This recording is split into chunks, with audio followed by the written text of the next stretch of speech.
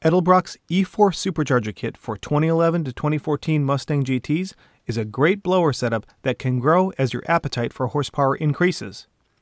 We're going to start to unlock the potential of this brilliantly designed blower for first gen Coyote engines by installing Edelbrock's Stage 2 upgrade and head to the dyno to see the results. The Edelbrock Stage 2 upgrade includes everything you need to give your E-Force supercharger equipped Mustang a significant bump in power, including a smaller 3 and inch supercharger pulley, an open element cold air kit, and a PCM calibration. Let's get started. We began the process by removing the factory intake setup and the MAF sensor housing. Then we loosened the blower pulley bolts before unhooking the supercharger belt.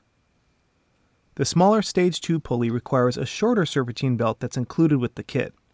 We removed the spring-loaded tensioner to swap the belt.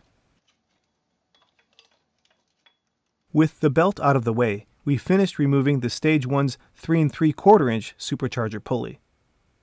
The smaller supercharger pulley on the right spins the blower faster, increasing supercharger boost. We installed the 3 and a quarter inch pulley using the same screws. We finished routing the belt and wrapped it around the supercharger pulley and finished tightening the bolts. Next, we mated the air filter, mass airflow sensor housing, and airbox using the supplied screws. Edelbrock includes a rubber edge seal to keep hot engine compartment air out of the intake tract. Next, we transferred the MAF sensor from the factory intake to the Edelbrock Stage 2 setup. Before installing the airbox, we connected the MAF sensor harness. The Edelbrock Stage 2 airbox uses the factory grommets and hardware and draws air through the factory cold air opening in the grill. Next, we installed the supplied grommet, aluminum adapter, and PCV tube. Though not necessary, we installed spark plugs that were one heat range colder than stock and gapped them to 30 thousandths. Finally, we flash the PCM with the supplied tune file from Edelbrock. On the dyno at Boost Addicts in Gallatin, Tennessee, the gains with the Stage 2 upgrade were impressive. In Stage 1 trim, the 2.65 liter supercharger squeezed a maximum of 7 psi of boost in our stock Coyote engine to yield 452 horsepower and 450 pound feet of torque to the wheels on Boost Addicts in house Mustang dynamometer. The Stage 2 upgrade added 3 psi of boost and combined with the less restrictive cold air kit added a sizable 85 horsepower and 70 pound feet of torque for a final tally of 537 horsepower and 485 pound feet.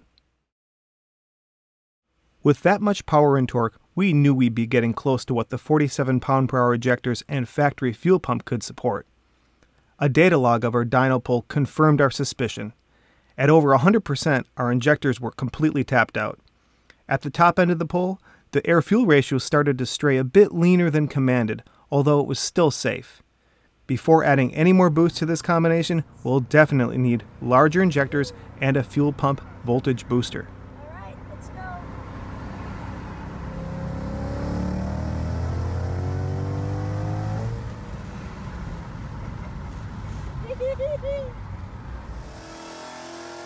Regardless, the gains from the Stage 2 upgrade were really impressive. We're just scratching the surface to what the Edelbrock E-Force supercharger can do in this application.